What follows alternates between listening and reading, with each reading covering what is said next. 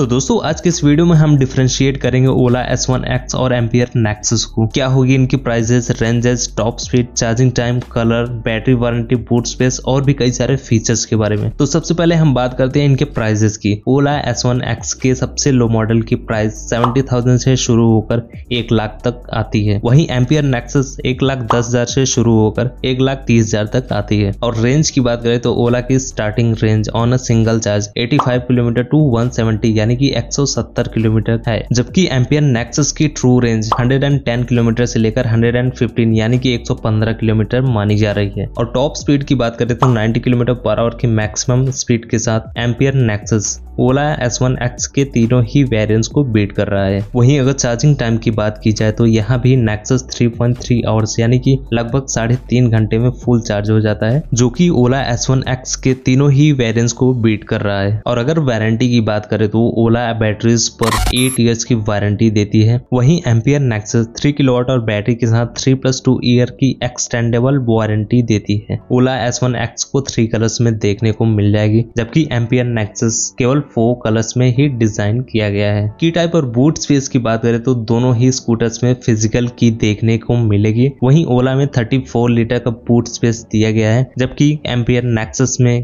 केवल 24 लीटर का boot space देखने को मिलेगा। मोटर पावर की बात करें तो नेक्सस 4 किलोवाट की इलेक्ट्रिक मोटर प्रोवाइड करता है, जबकि ओला में केवल 2.7 किलोवाट की इलेक्ट्रिक मोटर दिया गया है। वहीं अगर ग्राउंड क्लियरेंस की बात की जाए तो दोनों ही स्कूटर्स में सिमिलर ग्राउंड क्लियरेंस देखने को मिलेगा। और मोड्स की बात करें तो ओला में इको नॉर्मल स्पोर्ट्स और रिवर्स मोड देखने को मिलेगा, जबकि एम्पियर नेक्सस में फाइव मोड्स दिया गया है।